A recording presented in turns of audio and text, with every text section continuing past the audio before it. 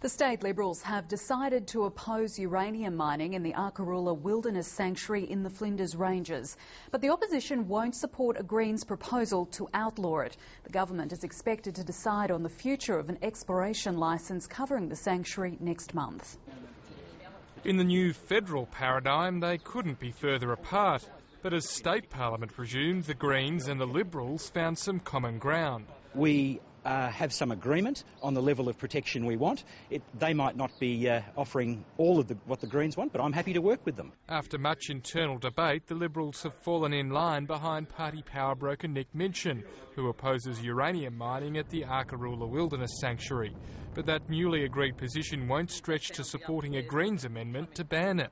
Look, the State Liberal Party has decided very clearly that it will reject any move by the state government to change the environmental status of Arkaroola in 2007, mining exploration company Marathon Resources was caught illegally dumping waste in the 610 square kilometre sanctuary.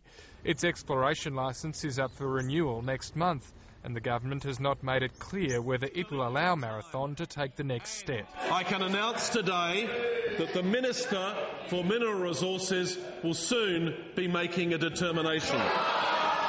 While it didn't show during question time, Labor found its own common ground with the Liberals, singing from the same press release with agreement to boost superannuation payments for recently elected MPs. The rise from 9% to 15% will bring them in line with their more experienced colleagues. But both Greens MPs who'll benefit from the rise oppose it.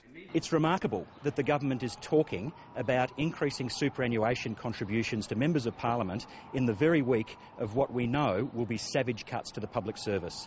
Expect the public service unions to make that argument when the budget is delivered on Thursday. Nick Harmsen, ABC News, Adelaide.